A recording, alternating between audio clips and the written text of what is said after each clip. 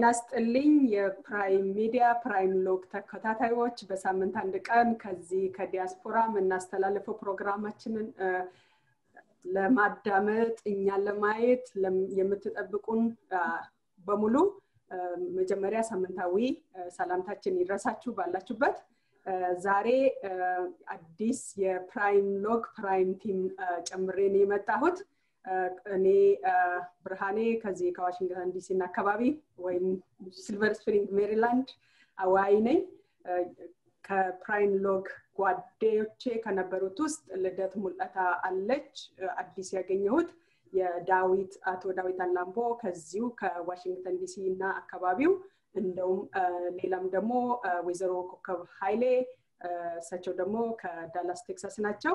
እንግዲህ ዛሬ የምንወያይበት በተለይ አቶ ዳዊት አላምቦና ወይዘሮ ልደት የዋልንበት የኢትዮጵያ አለም አቀፍ የዲያስፖራ የተግባር ምክር ቤት ስብሰባ ነበር ሙሉ ቀን አንድ ሁለት ሰዓት ያካሄድነው። ይሄ ዝግጅታችን በፕራይም ሚዲያ live ሲተላለፍ ነበር እንዲሁም በመሀል ሜዳ እና በሌሎች ፕሮግራሞች ሲተላለፉ ነበር።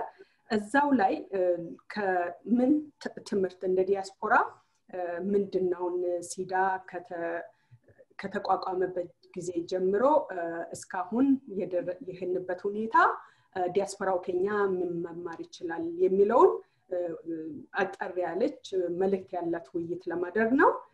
በዚህ የምጀምረው ከሲዳ የቦርድ ሊቀመንበር ከሆኑት ከወይዘሮ ልደት ነው ልደት እኔ ላንቺ ማቀርብልሽ እስካሁን ዲያስፖራ ውስጥ እንግዲህ ከተደረገው የተለያዩ organization ብዙ ድርጅቶች ተሳትፈናል ተሳትፈሻል። ሲዳን እንዴት አየሽው? የሲዳንስ የዛሬ ሲዳን ከተመሰረተበት ጊዜ ጀምሮ የሰራውንና ያጋጠመውን ውስጣዊ ችግሮችን በሚዲያ ላይ ለማህበረሰቡ በደንብ ግልጽ አድርጎ አስተላልፈዋል። ከዛ ላይ እንደ ሊቀመንበርም እንደ ተሳታፊም እንደ አዋጭም እንደ campaigner ም የአንቺን እይታ ከአንቺ ለመጀመር ፈልጋለው ወይዘሮ ልደት። Thank you ብርሃኔ። በዛሬው ዕለት የዲያስፖራ ተግባር ምክር ቤት መግለጫ የሰጠበት ቀን ነበረ። ይህ ተግባር ምክር ቤት ከተመሰረተ ጀምሮ ያደረጋቸውን እንቅስቃሴዎች መግለጫ ሰጥቶ ነበረ። በዛ መግለጫ አንዳንድ በጣም የሚያኮሩ ስራዎችን ሰርቶ ነበረ።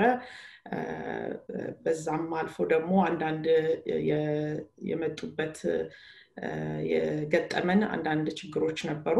ስለሱ ችግሮች በግልጽ መግለጫ የሰጠንበት ጊዜ ነበረ በብዙ ድርጅቶችም ሆነ በኮሚኒቲ አዋቃቀር የተደራጁ ተሳትፎ ያውቃለሁ ይሄ ድርጅት በጣም የሚያኮራ የሚያስደስት ድርጅት ነው። በአጭር ጊዜ ውስጥ በጣም ብዙ አይነት ተሳትፎ ለሀገራችን ድጋፍ እየሰጠንበት ነው። ያው ይሄንንም ሆኖ ግን አንዳንድ ችግሮችን መተውብናል እና እነሱን ችግሮች ለማህበረሰቡ በግልጽ ችግራችንን የገለጽንበት ቀን ነው።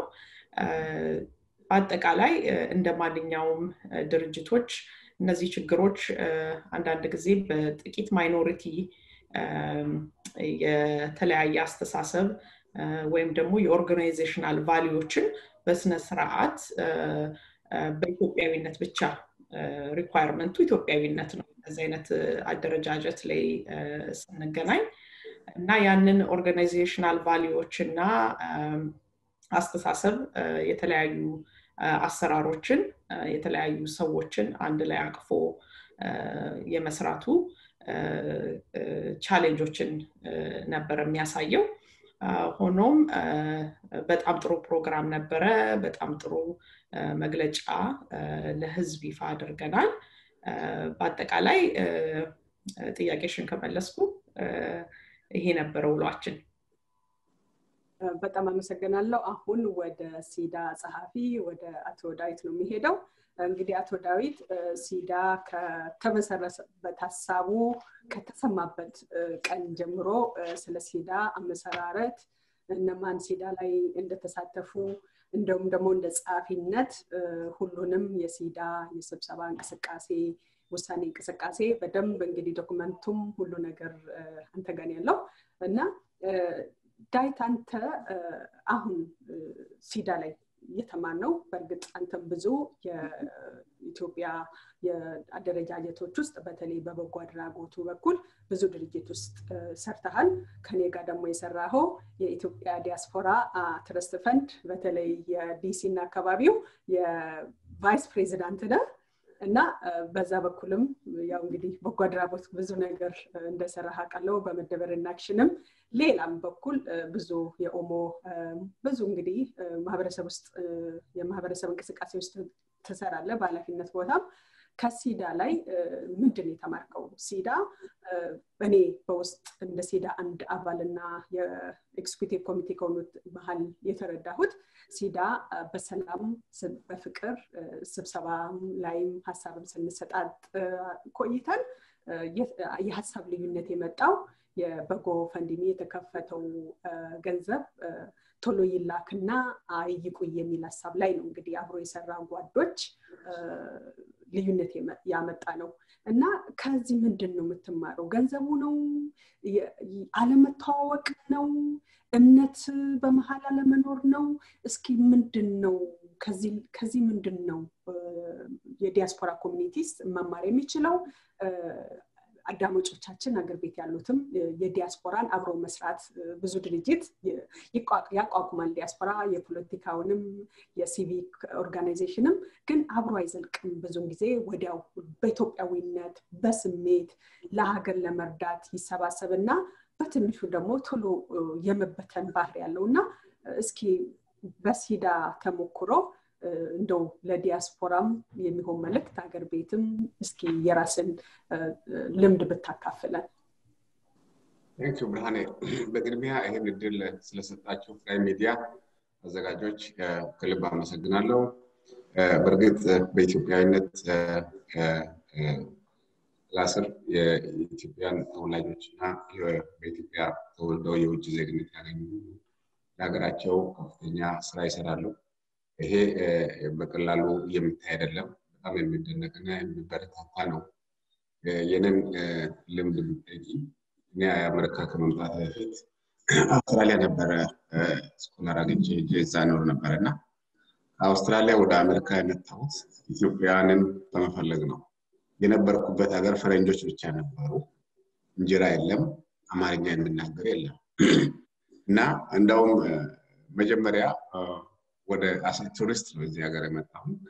መጥቼ ኒውዮርክን አየሁኝ። ከዛ ዋሽንግተን ዲሲ ስመጣ 18th street ላይ በርካታ የኢትዮጵያ ሬስቶራንቶች ኢትዮጵያውያን እንደ ሀገራቸው ተዝናንተው ሲሄዱ ሳይ I don't go back ብዬ አሜሪካ stick የቀረሁት እና ለማለት የፈለግኩት ኢትዮጵያዊነት ይስባል።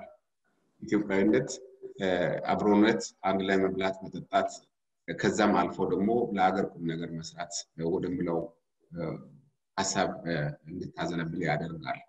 እንዳልሽው በኢትዮጵያ ማህበረሰብ ውስጥ በሚደረጉ እንቅስቃሴዎች ሳልታክት ጊዜንና ገንዘቤንም በመሰዋት አስተዋጽኦ በማድረግ ቆይቻለሁ። ያየሁት ልምድ ህብረት ይፈጠርና ይፈርሳል።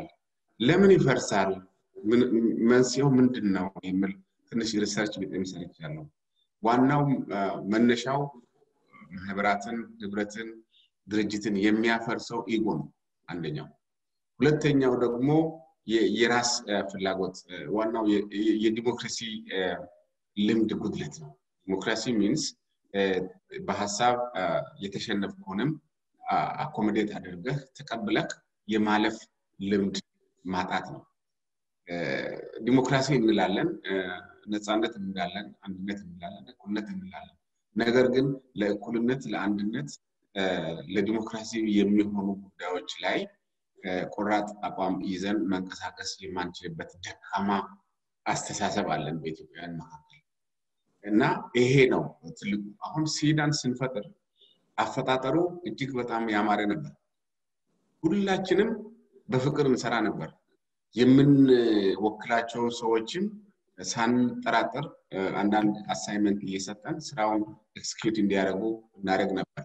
ከዛ አልፎ ደግሞ executive ኮሚቴ አባል ወይም ጸሐፊ ሆኜ ከተመደቡ በኋላ በርካታ የሆኑ ስብሰባዎችን አካሂደናል። ቅድም በወይዘሮ ልደት እንደገለጸችው በአምስት ወር ውስጥ ወደ ሀያ አርባ አምስት ስብሰባዎችን ሁለት መቶ ሀያ አምስት ሰዓታትን ቁጭ ብለናል። በሳምንት ሁለት ቀን እየተሰበሰበ ማለት ነው።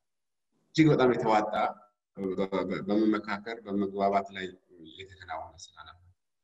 ነገር ግን ድርጅቱ ስራውን በጥልቀት እየሄደ ከኢትዮጵያን ጋር እየተዋሃደ አድማሱን እያሰፋ በሚሄድበት ጊዜ የተለያዩ ኢጎች የተለያዩ characters which we don't know before እንግዲህ ቅድም እንዳልሽው ስንገናኝ በኢትዮጵያዊነት ነው የተገናኘነው። ነገር ግን ከኛ ጋር የተያዙ በሽታዎች በጀርባ አዝለን ነው የመጣነው። ያ በሽታ ቀስ እያለ ቀስ እያለ እግር አወጣና ሲዳን እስከዚህ ደረጃ የንትርክ አውድ የንትርክ ድርጅት እንዲሆን አስቻለ። በአጠቃላይ በሲዳ ውስጥ የነበርነው ድርጅቱን ስንመራ በእምነት በአንዳንድ ቦታ የተመደቡ ሰዎች የድርጅት አመዘጋገብን፣ የባንክ አከፋፈትን በተለያዩ ጉዳዮች ላይ እንዲሳተፉና ኃላፊነት እንዲወስዱ ስናደርግ አንዳንድ ሰዎች ወደፊት ያስቡና ወደፊት ቢበተንስ እንዴት ድርጅት ስትመሰርት ወደፊት ቢበተንስ ወደፊት ካልተስማማንስ ምን እኔ benefit አገኛለሁ የሚለውን calculation ሰርተው ነው ሲዳ ውስጥ የገቡት። እና እጅግ በጣም ባልታሰበ ሁኔታ እግዚአብሔር ያሳይሽ። አንቺ ቤት ሰርተሽ እዛ ቤት ውስጥ ልጆችን ንብረትን ሀብትን ይዤ እኖራለሁ ነው የምትዩ እንጂ ቤት ባቃጥልስ ቤት ባፈርስስ ብለሽ አታስቢም። እና ለወደፊት ቤቱ ቢፈርስ ምን ማድረግ አለብኝ የሚለውን አታስቢም። አሁን ሲዳ ውስጥ የተፈጠረው ምንድን ነው በእምነት ሰዎች ሄደው ህጋዊነትን እንዲያስመዘግቡ የ social IRS ወይም የ tax free status process እንዲያካሂዱ አምነን ስንልካቸው የሲዳን executive ኮሚቴ ይተውና የራሳቸውን ስም ነው ያስመዘግቡ የነበሩ long range ወደፊት ሲዳ እንዲህ ቢሆንስ የምለውን ያስባሉ ማለት ነው። አሁን ያንን እያሰቡ በተለይ የድርጅቱ vice president በራሱ አድራሻ በራሱ ስም ድርጅትን እስከ ማስመዝገብ ነው የሄደበት። አቶ አለማየሁ አበበ የሚባሉ ከሎስ አንጀለስ ከኛ መሀል የተቀላቀሉ በእምነት እኛ vice president አድርገን አድራሻውን ብቻ ተጠቅሞ ድርጅቱ በ executive ኮሚቴ የሚመራና የስራ አስፈጻሚ እንዳለው በፎርም ላይ የተመለከተው ገንዘብ ያዥ ፕሬዚዳንት ጸሐፊ የሚል መጠይቅ አለ። እሱን skip አድርገው የራሳቸውን ስም ብቻ መዝግበው ድርጅት ብለው እኛን ከኛ ጋር እየተሰበሰቡ ቆዩ። መጨረሻ ላይም ድርጅት የራሴ ነው በሚል በሚል ሀሳብ ይሄ የሲዳ ስራ አስፈጻሚ ኮሚቴ ሳያውቅ ሌላ branch በኢትዮጵያ ውስጥ ተከፈተ ብለው declare አደረጉ። ያ ነገር በስራ አስፈጻሚ ኮሚቴ መሀል ልዩነትን አስከተለ። ሲዳ በሁለት እግሩ ሳይቆም በጀት ሳይኖረው የራሱ ድርጅታዊ አቋም ሳይኖር የራሱ office ሳያደራጅ እንዴት አገር ቤት ውስጥ branch ያቋቁማል የሚል ጥያቄ መጣ። ለዛ ጥያቄ የተሰጠው መልስ ግለሰቦች እኛ ያቋቋምናቸው በራሳቸው ገንዘብ በራሳቸው እውቀት በራሳቸው የሚሰሩ ናቸው እንጂ እኛን አይፈልጉም ነው። so what የእኛን respect የእኛን ስም የሲዳ አካል ነን እያሉ የሚናገሩት። እዛ ከሆነ ራሳቸውን ችለው እንዲሄዱ እኛ እንደ አጋር ከነሱ ጋር መቀጠል እንችላለን እንደ ኢትዮጵያዊ ድርጅት ብለን ሀሳብ በምናቀርብበት ጊዜ አሁኑኑ recognition ካልተሰጣቸው ይሄ ድርጅት ወደፊት የሚል አቋም የመያዝ ሁኔታ ተፈጠረ። ከዛ አልፎ ደግሞ በመሀል የጎፈንድ ተከፈተ። ጎፈንዱ በሀገራችን በጁንታው ህዋት የፈጸመውን በወገኖቻችን በዜጎቻችን በሰራዊቶቻችን ላይ ያደረሰውን ጥቃት በማስመልከት የሀገራችን መንግስትና የመከላከያ ኃይል ህግ ለማስከበር በሚያደርገው ዘመቻ የተጎዱ ወገኖቻችን የቆሰሉ ወንድሞቻችን ለማከም የተፈናቀሉትን ለመርዳት በሚል GoFund ከፈትን። ኢትዮጵያውያን እግዚአብሔር ይስጣቸውና ተረባርበው በቁጥር አነስተኛ ዝቅተኛ ያልሆነ በሶስት መቶ ምናምን ሺህ ዶላር ፈንድ ለገሱልን። ያንን ፈንድ በዓላማ ላይ በተቀመጠው መሰረት ወደ አገር ቤት በአስቸኳይ እንላክ ስንል አይ ይሄ process መጠበቅ አለበት፣ ይሄ ገንዘብ ለመላክ ይሄ ስራ አስፈጻሚ ኮሚቴ ስልጣን የለውም የሚል የመከራከሪያ ነጥብ መጣ። እንግዲህ ሁለተኛ ደረጃ ብለው የተቀመጠውና እነሱ እንደ condition ያስቀመጡት የሚቀጥለውን የገንዘብ አላላክ ውሳኔ መስጠት የሚችለው ቦርድ ብቻ ነው ተባለ። ከአሁን በፊት እግዚአብሔር ያሳያችሁ ድርጅቱ የስራ አስፈጻሚ ኮሚቴ በርካታ አገር አቀፍና ዓለም አቀፍ ጉባኤዎችን አካሂዷል። በሀገራችን በተለያዩ አካባቢዎች በተነሳው ነውጥ ሰላማዊ ሰልፍና የድጋፍ ሰልፍ አድርጓል። ያንንም በውሳኔ ያስተላለፈው የ executive body ነው። የ board of directors አልተሰየሙም። ምንም ውሳኔ ሰጥተው አያውቁም። እነሱን እንደገና አቋቁመን የእነሱን ፕሬዝዳንትና ጸሐፊ መርጠን ይህን ገንዘብ እንልካለን ብለን ጊዜ መፍጀት የለብንም we have right now የሚል ሀሳብ ቀርቦ በዛ ሀሳብ ላይ ያለመስማማት ተፈጠረ። በድምፅ ብልጫ ያ ሀሳብ አለፈ። ገንዘቡ እንድላክ የሚለው በድምፅ ብልጫ አለፈ። በመንግስት ስለተቋቋመው ለሀብት አሰባሳቢ ኮሚቴ ገንዘቡ እንድላክ የሚለው ሀሳብ አብላጫ ድምፅ አግኝቶ አለፈ። ሰባት ስራ አስፈጻሚ ኮሚቴዎች ነበር። ከሰባት አራት ሰው አስቸኳይ ይላክ አለ። አንድ ሰው አብስቴነር ሆነ። ሁለት ሰው ተቃወመ። ያ የተቃወመው አካል እንግዲህ እኛ ሀገር ትልቁ ችግር ቅድም የዲሞክራሲ ልምድ ማነስ ያልኩት ምንድን ነው? እዚህ ላይ የኔ ሀሳብ ከወደቀ ወይ አፈርሳለሁ ወይ እልቃለሁ የሚል አማራጭ ነው የሚመጣው። ለማፍረስ ነው እንግዲህ የተከደው ማለት ነው። ቅድም እንደነገርኳችሁ ለማፍረስ በቂ ዝግጅት ተደርጓል። ለመቀማት የ background ኡን አመቻችቷል። ይሄ በእምነት የተቀመጠው ኃይል ከዛ በኋላ ገንዘቡን እንዳይላክ የተለያዩ ዘመቻዎች ተከፈተ በሲዳ ላይ ማለት ነው። እንደውም ከዛ አልፎ ገንዘቡ ወደ ግል ኪስ ገብተዋል። ግለሰቦች በራሳቸው account አስገብተዋል። ግለሰቦች ለሰው ትኬት ገዝተዋል የሚሉ አሉባልታዎች እንዲወሩ ተደረገ። ግን ኢትዮጵያውያን ይህን ሳያውቁ በሀሳብ አንዱ ወገን ያቀረበውን ሀሳብ ብቻ በመከተል ልክ ህገወጥ ስራ እንደተሰራ መደናገር ጀመሩ። ያንን መደነጋገር ነው ዛሬ በሰፊ ሪፖርት አቅርበን ለማህበረሰቡ ለኢትዮጵያ ህዝብና ለመንግስት ያሳወቅ ነው።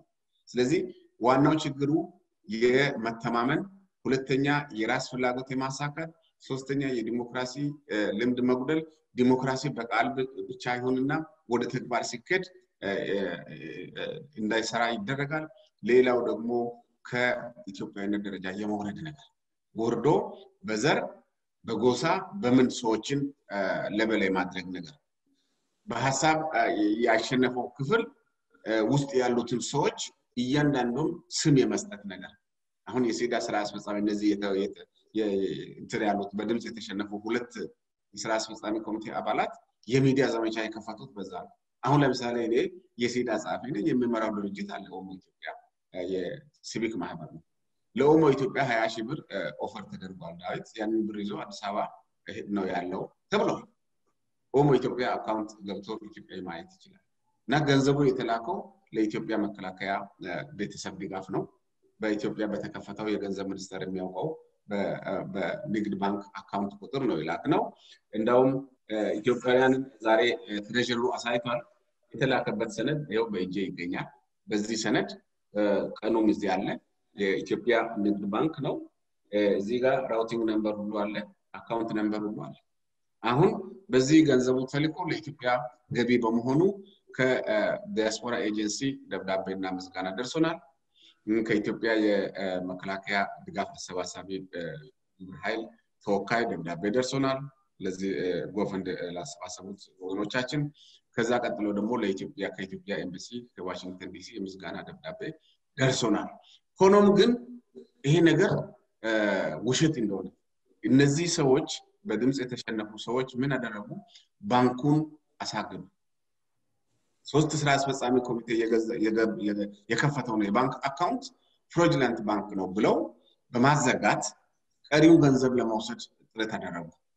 እኛ ያኛውን ልከናል። የመጀመሪያ round GoFund ያስገባውን ገንዘብ already አምስት ሳንቲም ሳይጎል ማለት ነው አምሳ ብር ብቻ ከፍለን አንድ መቶ ስልሳ ሺህ US ዶላር transfer አድርገናል። ሁለተኛውንም ዙር በዛ መልኩ ሀምሳ ዶላር ከፍለን transfer እናደርጋለን በ hard currency ማለት ነው። በዛ መሀል ለአበል የሚከፈል የለም፣ ለስራ ማስኬጃ የሚወጣ የለም።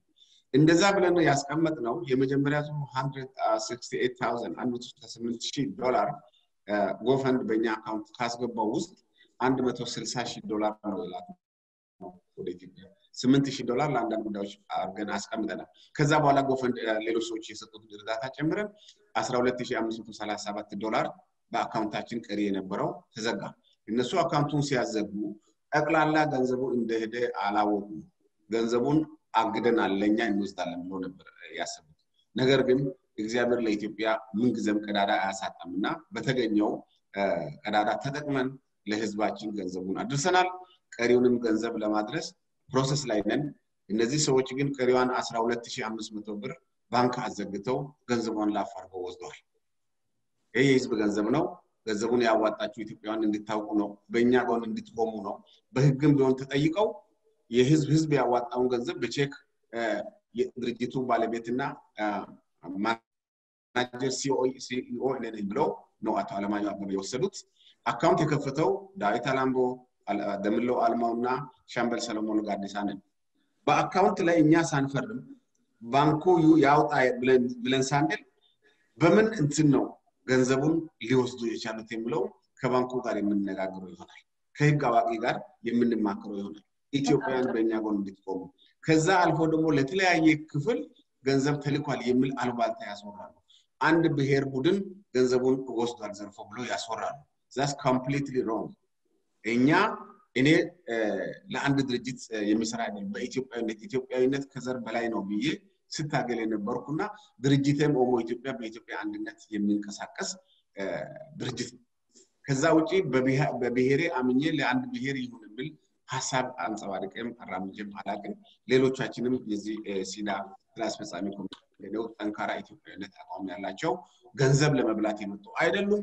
ነገር ግን እነዚህ ሰዎች ገንዘብ የማወናበድ፣ ገንዘብ የማጭበርበር፣ ገንዘብ የማውጣት በህዝብ ገንዘብ ለመጠቀም ልምድ ምናልባት ሊኖራቸው ይችላል።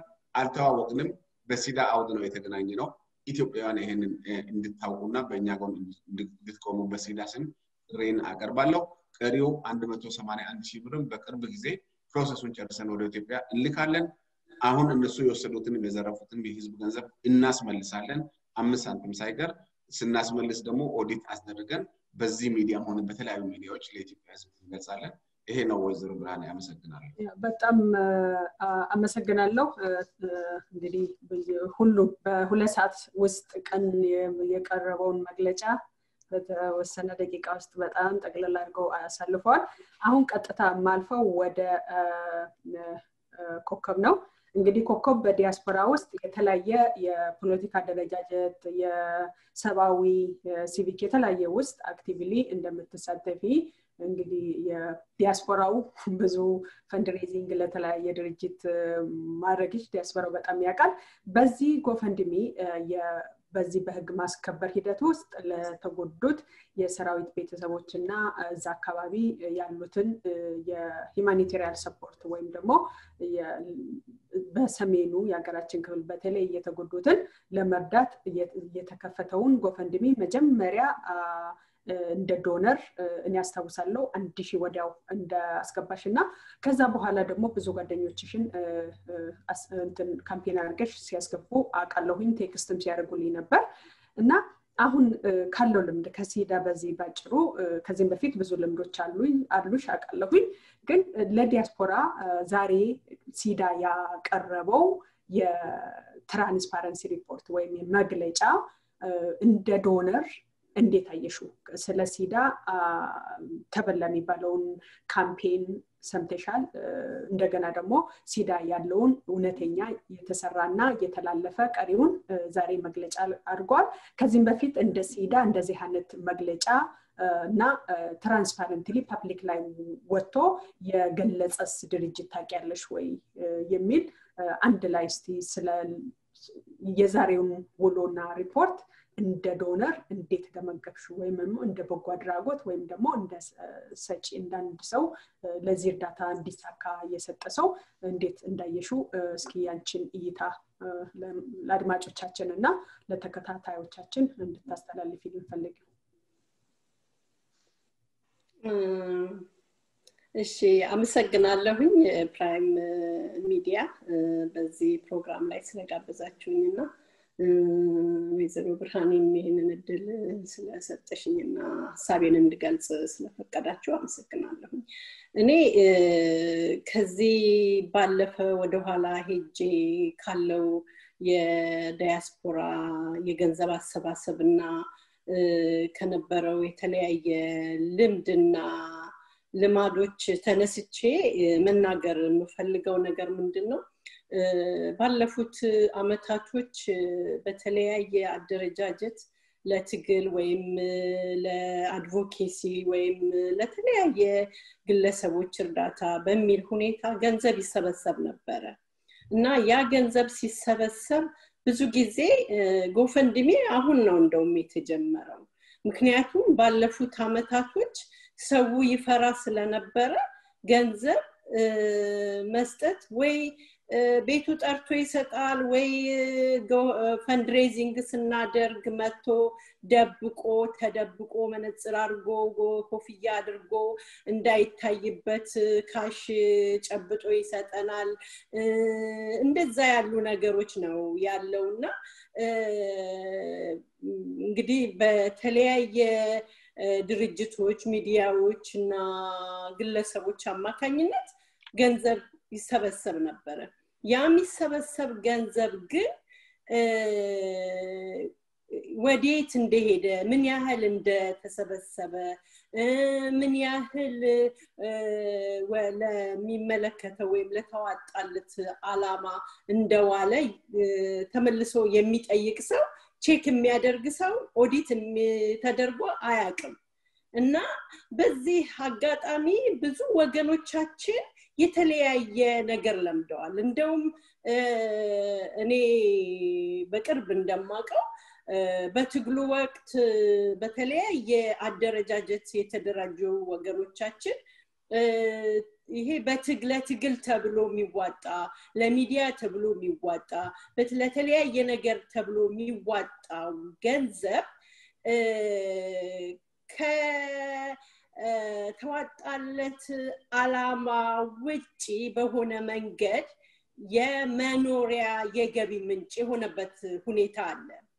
አንዳንዶች በአደራጁት ድርጅት ልክ ኤንጂኦ የሚመስል ደሞዝ እየት ለራሳቸው እየከፈሉ በህዝብ ገንዘብ ኑሯቸውን ሲኖሩ የነበሩ አሉ ዛሬ በተለያየ ተቃዋሚ ነን ብለው ህዝቡን ለማወናበድ የሚሞክሩ ማለት ነው። ሌሎች ደግሞ ብቻ ይሄ ነው ማለት አይቻልም። ያ ገንዘብ የተዋጣ ገንዘብ በየጊዜው በየስድስት ወሩ በየአመቱ በአለም ዙሪያ የሚሰበሰብ ገንዘብ ለትክክለኛው አላማ ውሏል ወይ የት ነው ያለው? ምን ያህል ወጣ? ምን ያህል ለቀረ? የሚለው ነገር ማንም የሚያውቀው የለም። ሰው ግን በአገር ወዳድ በአገር መውደድ ለአገሩ ለውጥ ለማምጣት ወይም ለዚህና ለዛ እየተባለ ገንዘብ ይወጣ ነበር። በዛ መሀል ግን ብዙ ልማዶች ተለምደዋል። ኑሯቸውን በዛ የመሰረቱ ብዙ ሰዎች አሉ። ብዙ ወገኖች አሉ ያ የሆነው መጀመሪያ ሲጀምሩ ለትግል ነው የጀመሩት። በኋላ ግን ከነበረው የአሰባሰብ ሁኔታ ተጠያቂነት ሊኖረው በሚችለው መንገድ አይደለም። አንድ ሰው መንገድ ላይ አግኝቶሽ አንቺ fundraiser ስለሆንሽ እባክሽን ይሄንን አራት መቶ ዶላር እዛ አስገቢልኝ ብሎ ይሰጥሻል አንቺ ያንን ገንዘብ እግዚአብሔርን ካልፈራሽ ወደ ኪስሽ ልትከቹ ትችያለሽ በእንደዛ ሁኔታ እየተባለ ወገኖቻችን የተለያዩ ወገኖቻችን ኑሯቸውን በዚህ አይነት ሁኔታ መስርተዋል እና ለውጡ ከመጣ በኋላ ድንጋጤ ነው የሆነው። ምክንያቱም ድንገት ይሄ ለውጥ ሲመጣ ያ ሁሉ ነገር ነው ቀጥ ቀጥ ያለው።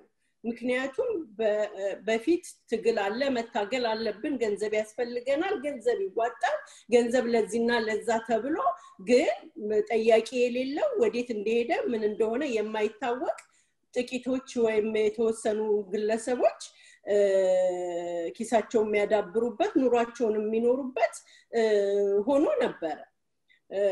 ስለዚህ ከለውጡ ከመጣ በኋላ ያ ነገር ቆመ። ሲቆም እነኚህ ሰዎች ብዙዎቹ እኔ በግል የማውቃቸው ወደ ተቃዋሚነት ነው የሄዱት እና ህዝቡን የሚያሳዝነው ነገር ገንዘብ ላይ ያለው ፍላጎት ብቻ ሳይሆን ያንን ህዝብን በተቃዋሚነት ጠብቆ አኑሮ እንደገና ደግሞ ውሸት ዋሽቶ የአገሪቷን የፖለቲካ ሁኔታና የህዝቡን አንድነት በሚያጠፋና በሚረብሽ ሁኔታ የውሸት ፕሮፓጋንዳ ተሰርቶ ደጋፊ አፍርቶ ከዛ ደጋፊ ገንዘብ መሰብሰብ ተለምዷል። ያ ነው የሆነው። አሁንም ሲዳ ሲቋቋም አንደኛ ሲዳ የተቋቋመው እነኝንም ነገሮች ለማጥፋት ነው።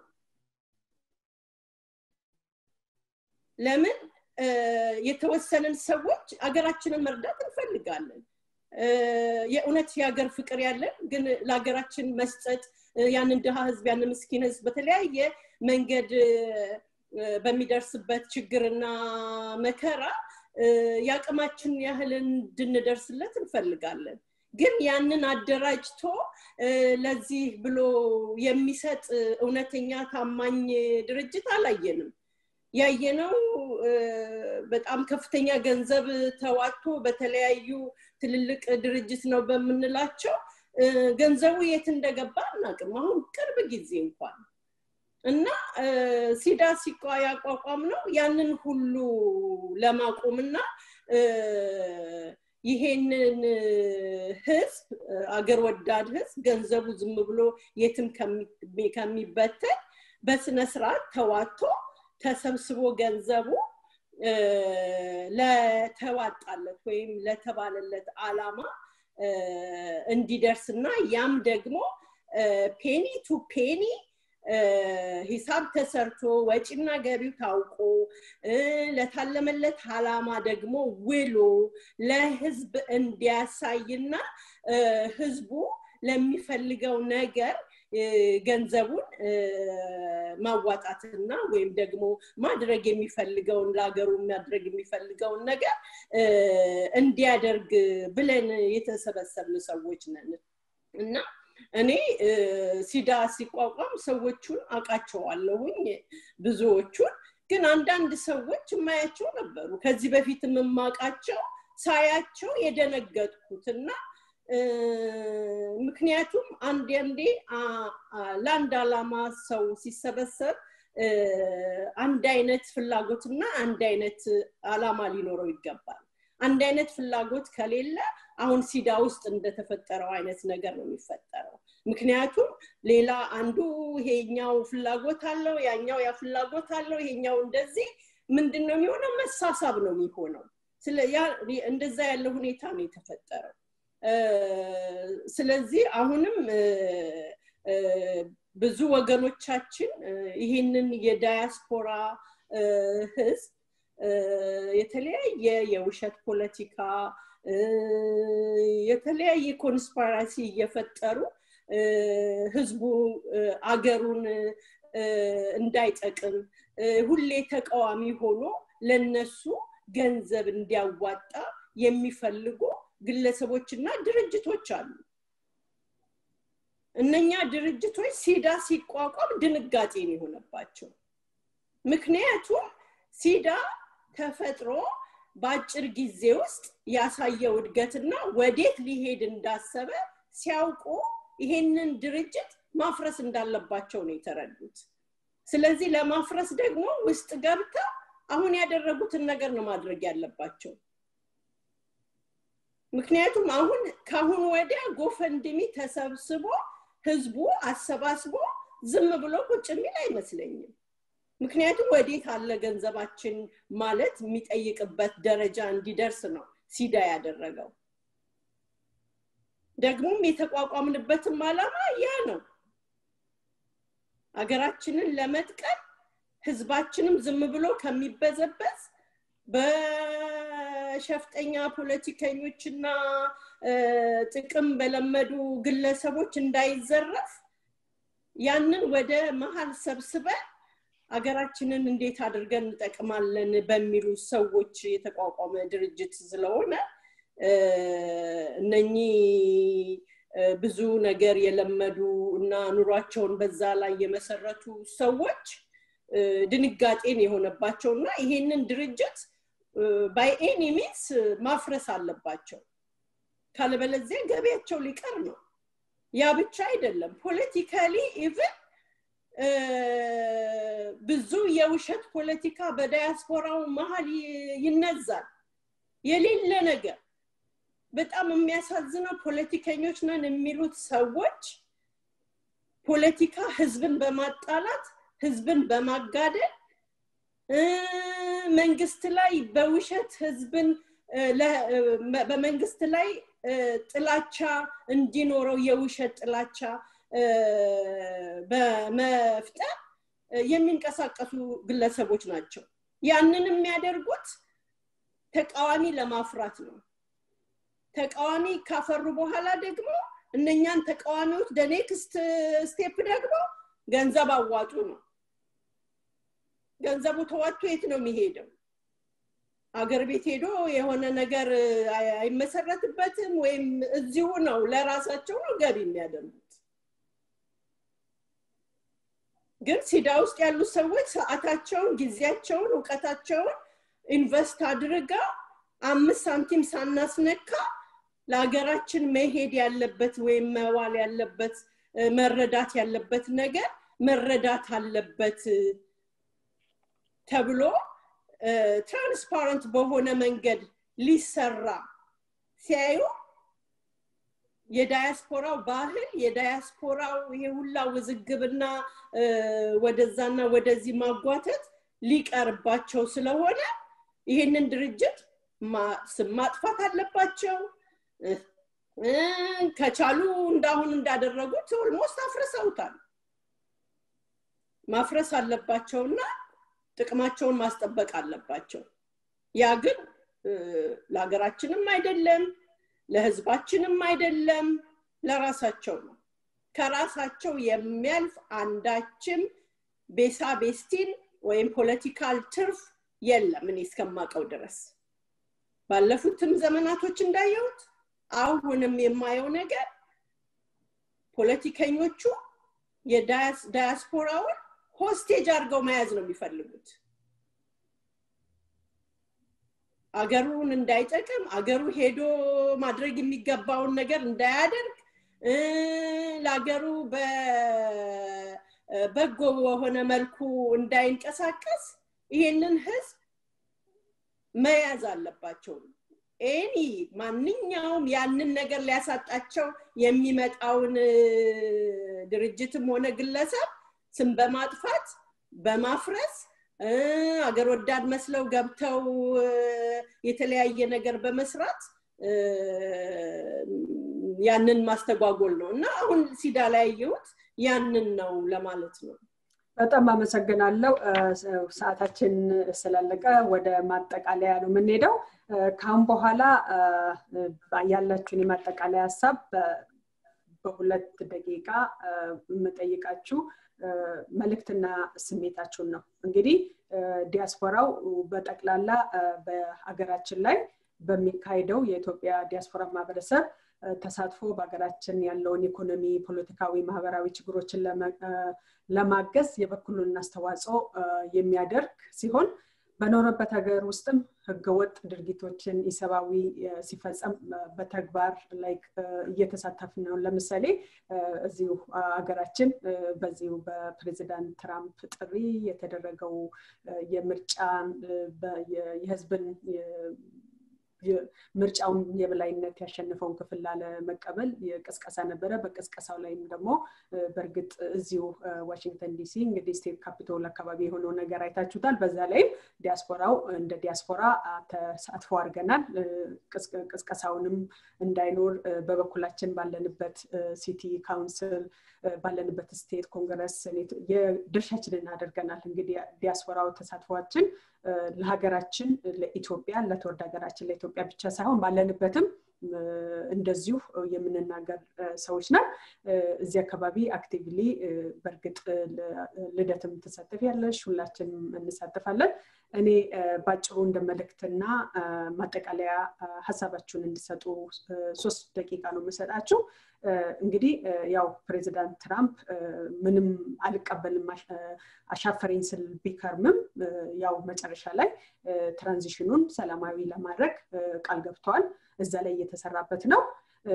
እኛ ውስጥስ በቀላሉ ይሄን ነገር እንዲህ አይነት ነገሮችን መሽ ነው የሚለመደው በቀላሉ ችግሮች ይፈጠራሉ። በድምፅ ብልጫ ያለፈውን ጉዳይ አልቀበልም ብሎ ሁለት ሰዎች ናቸው እንግዲህ ይሄን ሁሉ ዜና ላይ ያደረሱት። እንዲህ አይነት ነገር መች እኛ ውስጥ ሊቀረፍ የሚችለው? እንግዲህ ትልቁ የአሜሪካ ፕሬዚዳንትም በእርግጥ ህግም ያስገድደዋል እና እኛስ መች ነው የህግ በላይነትን ለራሳችን የምናከብረው? ለኢትዮጵያ ፖለቲካ ለኢትዮጵያ ዲሞክራሲ እንዲመጣ ብዙ ዲያስፖራው በኢትዮጵያዊነት ስም ብዙ ይታገላል። ለራሱ ግን አያከብረውም እና ይሄን ነገር ጠቅለል ባለ መልእክት እና ዛሬ ሳይነሳ የማያልፈው እንግዲህ የአባው ሰባት ጉዳይ እና ከሳቸው ጋር ያሉት ናቸው የተያዙት የጁንታው ሊቀመንበሮች ወይም ደግሞ ኃላፊዎች እንግዲህ ከኢትዮጵያ ፀሐይ እንደው ከእግዚአብሔር በታች እነዚህ ሰዎች በስልጣንም በገንዘብም የተፈሩ ያካበቱ ናቸው። እየቀረበላቸውን የእርቅ ጥያቄ የእናቶች እንባ ሄደው የጠየቁትን እምቢ ብለው ማስተካከል ሲችሉ እድሜያቸው ከሰማኒያ ዓመት በላይ ሆነው ራሳቸው ታሪካቸውን ማስተካከል ሲችሉ ያንን ሁሉ ሳያደርጉ ቀርተው መጨረሻ ላይ በካቴና እጃቸው ተይዞ ሲመጣ ምንድን ነው የተሰማቸው ስሜት እና ለኢትዮጵያ አሁን ያሉት ደግሞ አገር መሪዎች እንዲህ አይነት እጣ እንዳይደርሳቸው እስኪ ስሜታችሁንና መልእክታችሁን በሁለቱ ሀሳብ ላይ አጠር አድርጋችሁ ከልደት ካንቺ ነው የምንጀምረው። ብዙ ናቸው topic ኦች ናቸው። ሰው ለማሳጠር ሞክራለሁ። ከአንድ ከዛ ውስጥ አንድ ሁለቱን point pick አረጋለሁ። ይሄ በዲሞክራሲ ያለማመን ወይም ደግሞ በድምፅ ብልጫ settle አለማድረግ ባህሪ በየቦታው እንዳለ ነው የምንገነዘበው። ይሄው በምናየውም በዶናልድ ትራምፕ በተፈጠረው እዚህ ከተማችን ዲሲ ውስጥ በተደረገው በጣም አስከፊ ሁለት ቀናቶች ውስጥ ያየነው ምንድን ነው? ይሄ ነገር በየቦታው ይፈጠራል። ግን እንዳልሽው ደግሞ እዚህ ሀገር በጣም controlled ነው።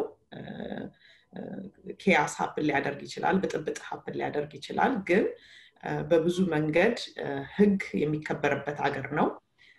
በእኛ ደግሞ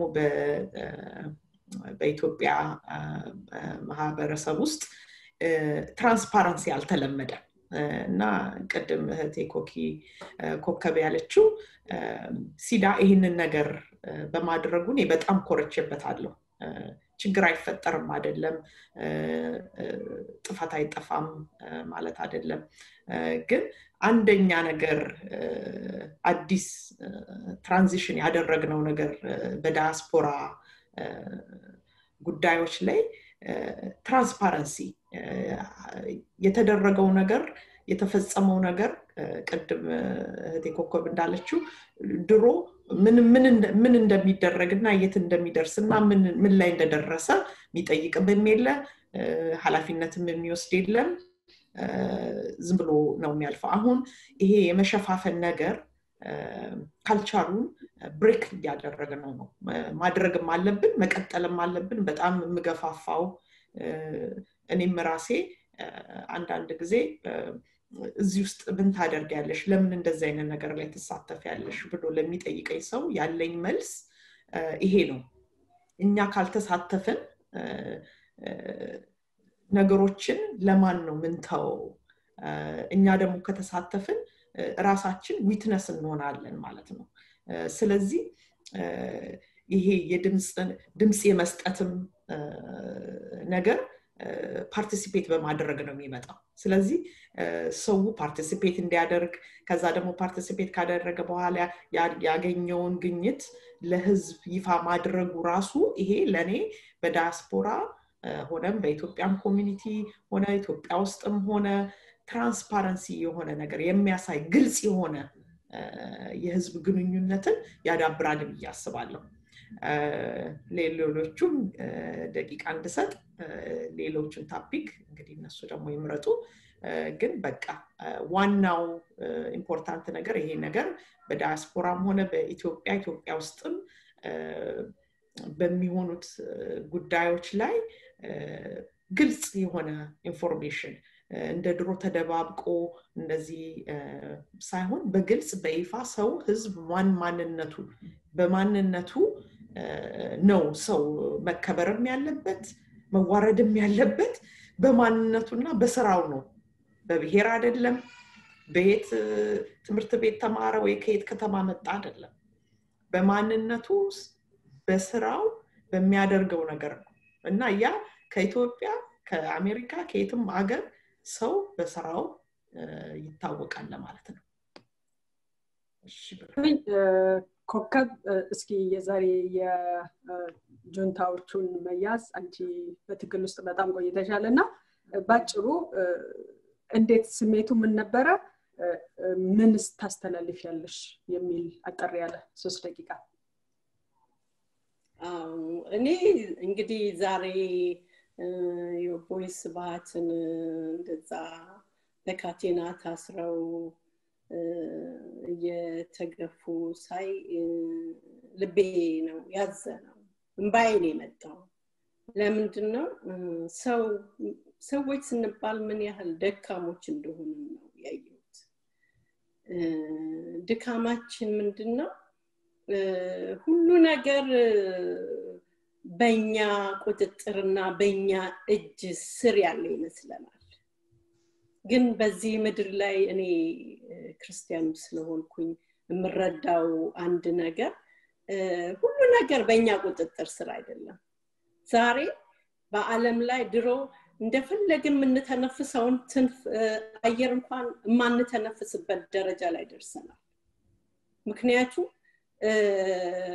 ሁሉ ነገር የተቆጣጠር ነው የሚመስለን ነገር ሁሉ አልተቆጣጠር ነው በአልግባቡ ካልተጠቀምንበት አንድ ቀን ያ ነገር መፍረሱና ወደ አላስፈላጊ ሁኔታ እንደሚሄድ ማስተዋል አለመቻላችን ነው። በህወሀት አገዛዝ ያ ነው የሆነው።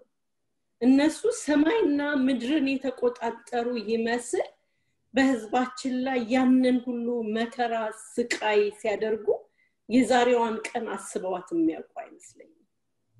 ግን የእግዚአብሔር ቃል ምን ይላል? ሰው ሁሉ የዘራውን ያጭዳል የትም ይሄዳል።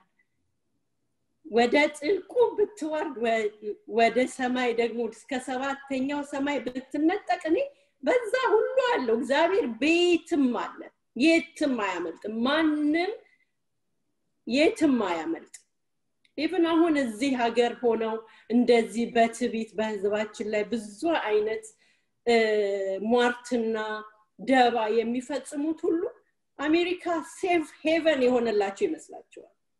ግን ነገ ምን እንደሚሆን እነሱ ራሳቸው እዚህ ያሉት ራሳቸው አያውቁትም።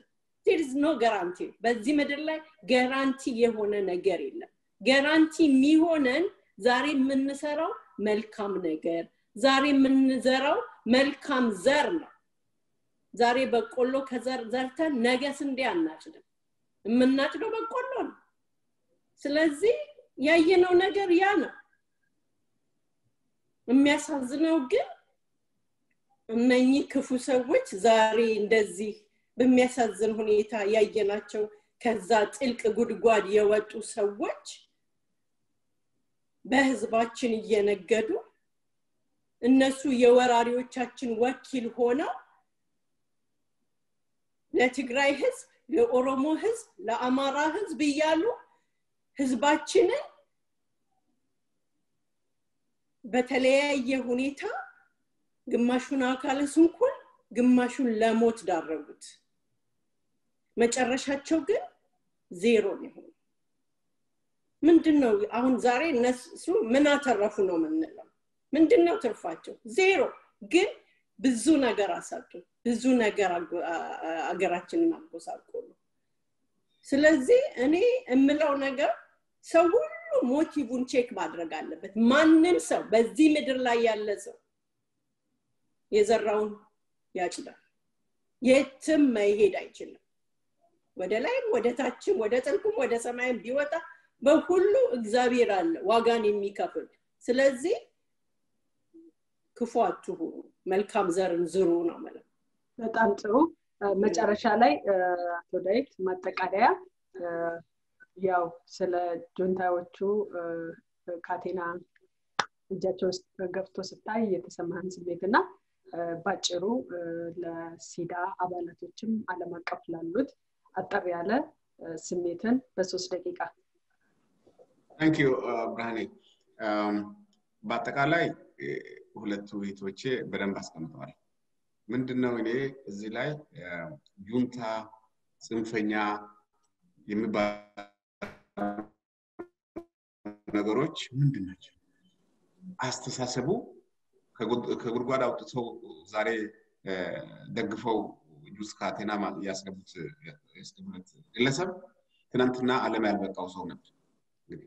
አስተሳሰቡ ግን የእሱ አስተሳሰብ የአቦይ ስብዓት አስተሳሰብ የአቦይ ፀሐይ አስተሳሰብ የበረከት አስተሳሰብ በኢትዮጵያ ውስጥ እሳት ጭሮ እያጋደልን ነው ያለው። እና ይህን አስተሳሰብ መቀየር ያስፈልጋል።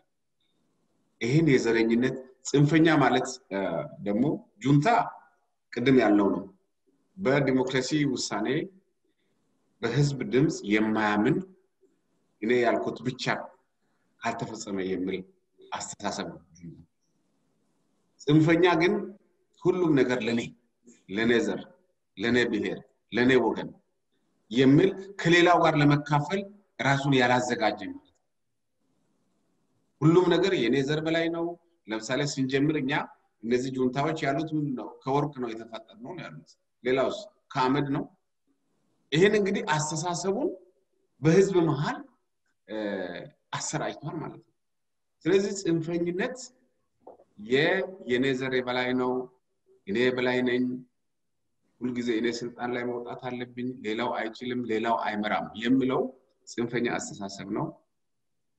በዛ ላይ ደግሞ ቅም በቀል ስልጣን ባገኙ ቁጥር ጥቅም ባገኙ ቁጥር ለመበቀል ያንን ነገር የተረኝነት ነገር የማሳየት አዝማሚያ ነበር ጁንታዎች ሲጀምሩ እኮ አማራን ሊያጠፉ ነበር።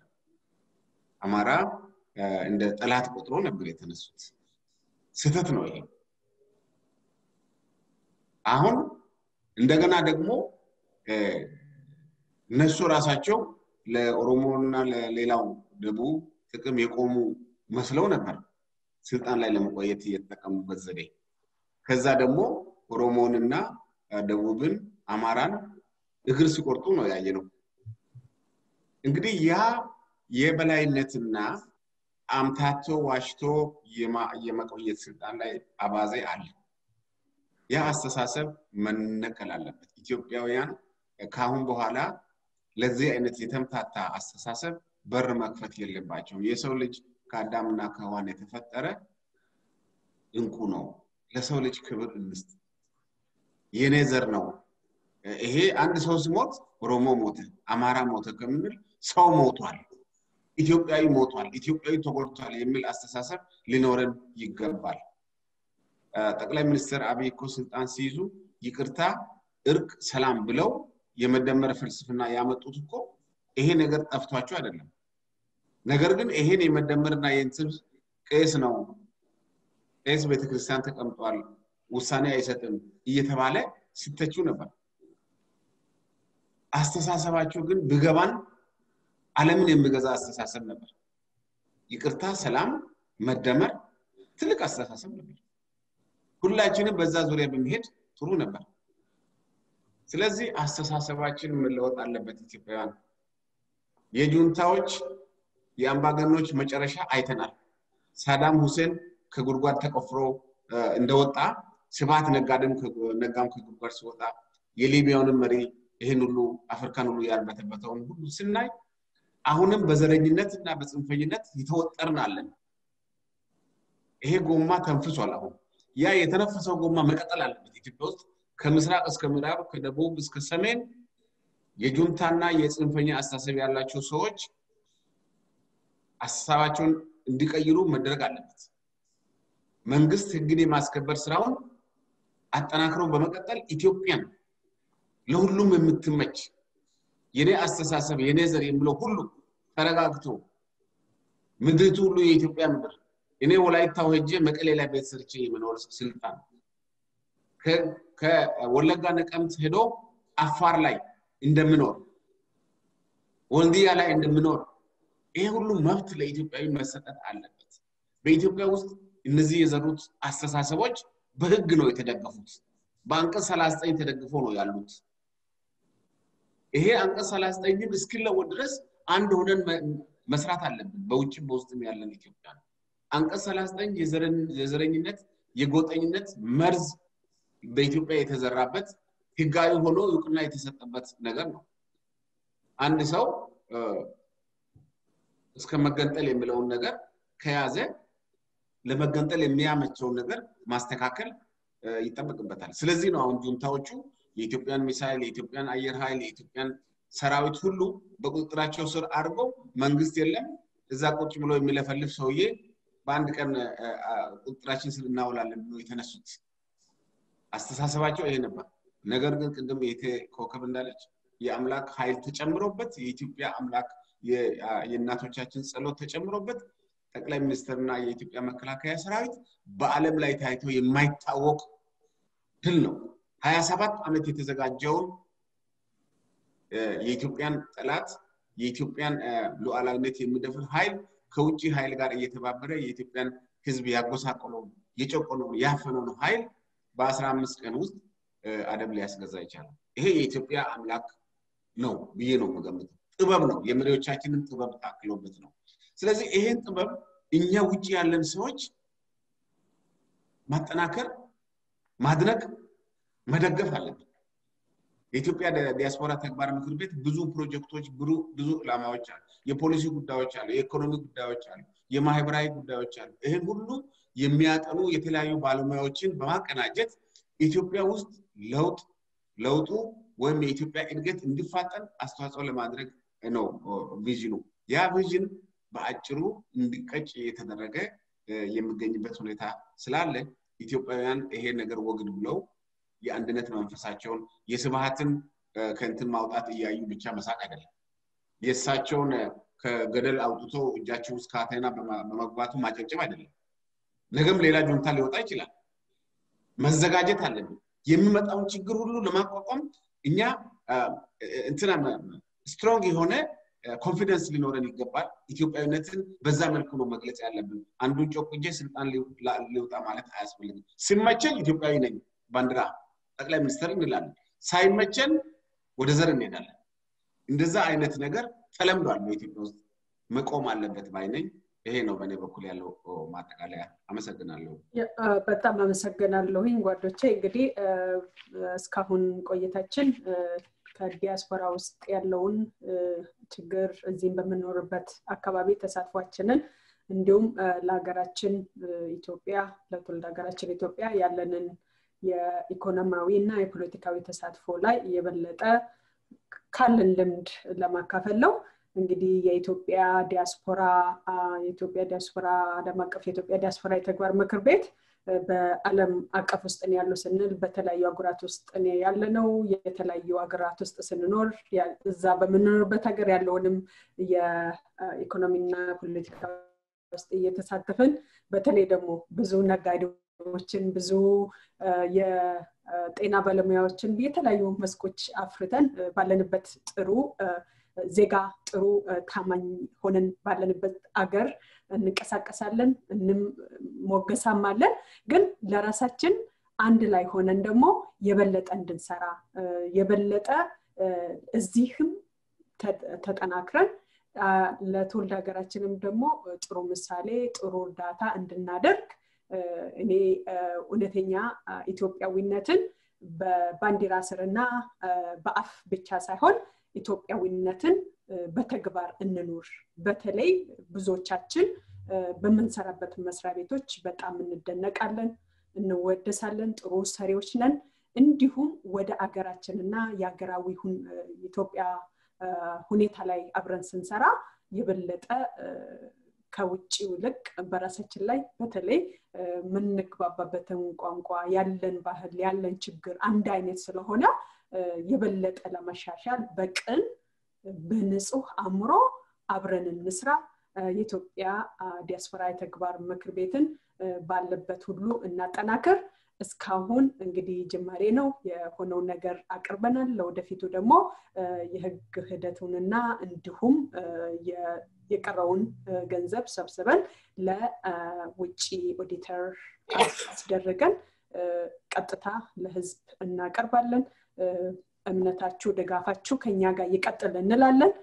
ጓዶቻችን ደግሞ እንደ ትራምፕ እንደሚመለሱ ተስፋ አለኝ።